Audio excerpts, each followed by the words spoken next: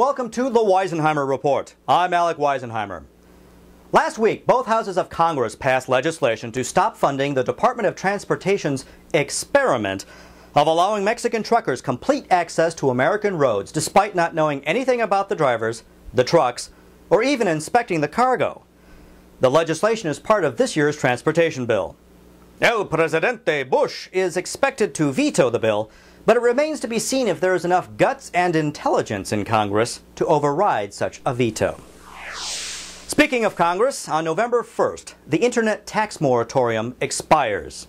Now, this means if Congress doesn't renew it, state and local governments can put taxes on your Internet access, online purchases, and additional taxes called discriminatory fees that treat online transactions differently from regular purchases so cities can punish you for buying online versus your local retailer.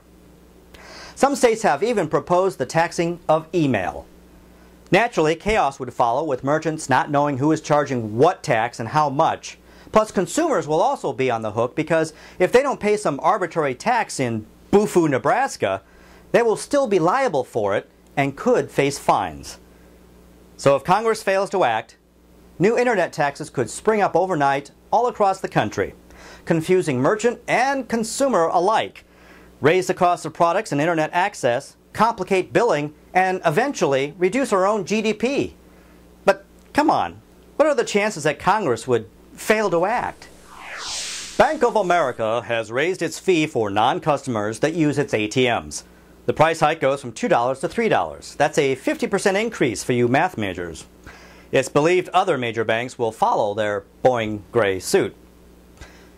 You may recall that ATMs were designed to be labor-saving devices which would save banks money on simple transactions. Instead, they now allow complex transactions like that jerk in front of you that does his month's worth of banking on it, pushing buttons like he's typing out a short story on how to annoy people, while you stand in line patiently waiting just to get your $20 bill. Oh, wait, now the jackass is buying stamps and ordering a magazine subscription to Tard Monthly.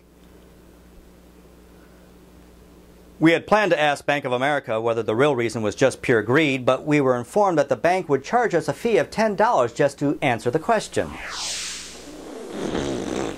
Burger King plans to offer what they call healthier fast food items for children. Their new menu will feature chicken tenders and apples cut to resemble french fries. Rumor has it that McDonald's plans to match Burger King's move, sort of, by offering eco-conscious products like Earth Fries, made of recycled wood chips, and a line of hamburgers made from groundhogs. When asked why they chose such an unusual form of meat, a company spokesman said, It's one of the few remaining animals that doesn't have a nonprofit organization dedicated to saving it, or a cute documentary on Animal Planet. And finally, there's a mystery brewing just outside of Paris. At the International Bureau of Weights and Measures, it seems that a tiny amount of a piece of metal used as a reference for one kilogram of mass is missing. Various governments have expressed their desire to help the French find it. The Germans have said they'd be happy to help look for the missing mass, but only if they can keep the kilogram weight in Germany as a symbol of European unity. The British government offered to help by installing video cameras on every street corner and every apartment and house within 30 mile radius of Paris. The Swedes and Norwegians are pitching in by raising taxes on everything measured in kilograms. The Italians will help, but only if the Vatican gets exclusive use of all Latin versions of the Mass.